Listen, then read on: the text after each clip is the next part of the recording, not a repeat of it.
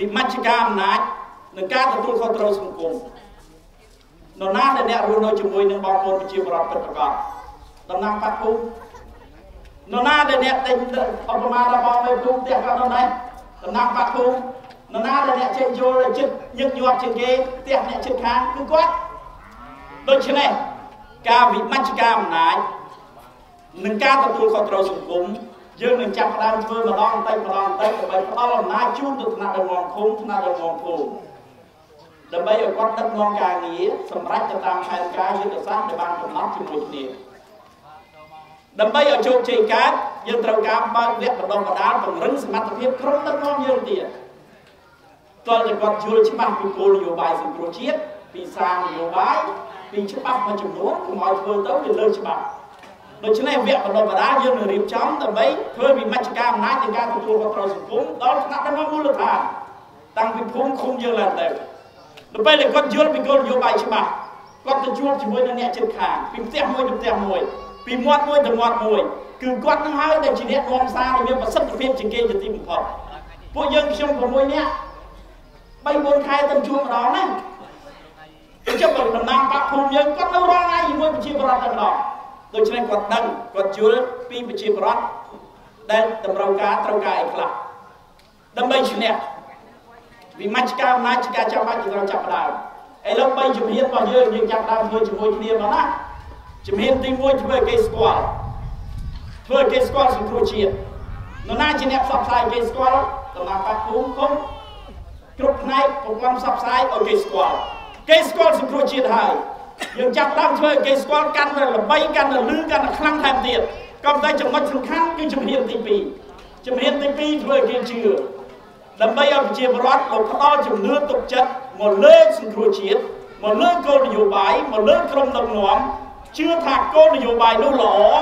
ដឹកនាំដើម្បីផលប្រយោជន៍សង្គមដើម្បីយុទ្ធសាស្ត្រសង្គមដើម្បីសិលធម៌សង្គមដើម្បីអភិវឌ្ឍគ្រួសារដើម្បីអភិវឌ្ឍសេដ្ឋកិច្ចសង្គមអភិវឌ្ឍសេដ្ឋកិច្ចមូលដ្ឋាន ពិតប្រាកដដើម្បីឲ្យគាត់យល់របស់នឹងបានតើមានវគ្គបណ្ដុះបណ្ដាលឲ្យគាត់យល់ពីគោលនយោបាយរបស់យើងដើម្បីឲ្យគេជឿកើតតើតែយើងនិយាយឲ្យមានភាពជាក់ស្ដែងយ៉ាងពិតប្រាកដដើម្បីឲ្យគេជឿបានតើតែមានបុគ្គលិកលក្ខណៈចរិតសិលធម៌ច្បាស់លាស់ទៀតដូច្នេះសូមមកណាសូមកាត់បន្ថយតទៅទៀតឲ្យខ្ញុំសង្ខេបសរុបមកវិញជំហានទី2ធ្វើគេជឿដើម្បីគេជឿបាន តើមានបុគ្គលិកលក្ខណៈចរិតសិលធម៌ល្អយល់ដឹងពីគោលនយោបាយច្បាស់ដើម្បីទៅពន្យល់បន្តបើនិយាយប៉ះដល់អ្នកគ្រប់គ្រងស្រាប់ស្រួលទេក៏តែប៉ះដល់អ្នកគេគ្រប់គ្រងប៉ះផ្សេងមានការតស៊ូមតិហើយការតស៊ូមតិទោះយើងប្រកែពន្យល់ជាងគេមិនគេយល់មិនគេជឿលើយើងដូច្នេះដើម្បីយល់ឲ្យច្បាស់បានតើខ្លួនយើងម្នាក់ម្នាក់ហ្នឹងឲ្យច្បាស់ឲ្យប្រកបមែនទេប្រកបថាចង់បានអីឲ្យពិតប្រកបជំហានទី3ជំហានទី3 ធ្វើគេជួយបើធ្វើគេស្គាល់ហើយធ្វើគេជឿហើយគេប្រកាសជាជួយយើងជួយតាមសម្ភារៈជួយតាមថវិកាជួយជាស្លឹកឆ្នោតតែម្ដងពេលនោះយើងប្រកាសជាឈ្នះដូច្នេះពេលដែលគេស្គាល់គេជឿគេជួយហើយយើងនឹងឈ្នះហើយយើងទៅដឹកនាំប្រទេសបានដែរបងដើម្បីជំហានហ្នឹងយើងជិះដល់ហើយណាគេស្គាល់សង្គ្រោះជាតិគ្រប់កន្លែងហើយគេជឿច្រើនហើយ នៅសល់តែម្យ៉ាងគឺយើងរៀបចំខ្លួនទៅដឹកនាំប្រទេសដែលឲ្យឈ្មោះតាមពង្រឹងសមត្ថភាពពិតប្រាកដសូមឲ្យក្រុមដឹកនាំចាប់ដើមសាមគ្គីគ្នាដោយលោកប្រធានសំរងស៊ីនៃកម្មសភាលោកទាំងពីរគេចាក់រត់គាត់គេចាក់ដោតគាត់ធ្វើមិនញុះញង់ឲ្យបែកបាក់គាត់អត់បែកបាក់ទេចុះយើងយើងរឹងមាំឯអត់យើងបែកបាក់គ្នាឯអត់នៅពេលដែលមានតែគេចាក់រត់និយាយដើមគ្នាពីលិចតកើតទាំងអស់នេះខ្ញុំសូមមកណា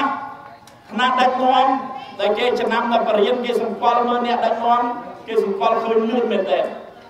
គេថាទី1អ្នកដឹកនាំដែលល្អពិតប្រាកដគឺជាអ្នកដោះស្រាយបញ្ហា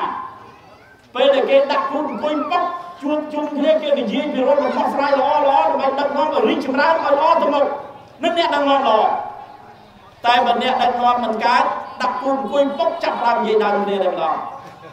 និយាយដើមចូលគាត់នឹងកើតទេគាត់នឹងកើតទេទៅអញនេះមិនបកែទៅអញនេះមិនកើតនៅមានយើងនាំគ្នាកែល្អរបស់គ្នាបងណានាំគ្នាអង្គុយទៅជែករត់ដំណោះស្រាយល្អល្អ